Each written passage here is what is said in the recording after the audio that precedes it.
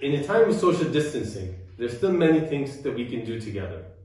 We can all support government initiatives to keep us safe by working from home. If we as individuals have ever wondered about how we can lead with purpose, this is it. Because safety comes first at PepsiCo, working closely with our bottling partners, we've increased safety measures for our frontline heroes who are helping to stabilize food and beverage supply chain across the region. It's also why all our office-based employees are working from home. Be safe, work smart, and stay home.